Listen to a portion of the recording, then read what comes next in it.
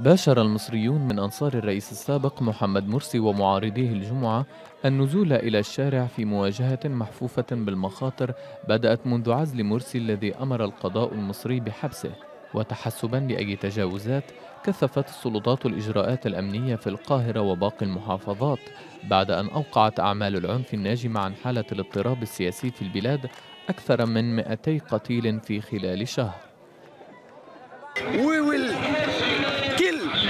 سنقضي على كل من يحاول سلب حريتنا منا.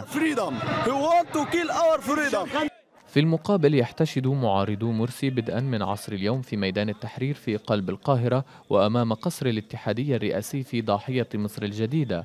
ومرسي محتجز في مكان لم يكشف منذ إزاحته عن السلطة في الثالث من تموز يوليو. وكان الأمين العام للأمم المتحدة بان كيمون دعا الخميس الجيش المصري إلى الإفراج عن الرئيس المعزول وبقية قيادات جماعة الأخوان.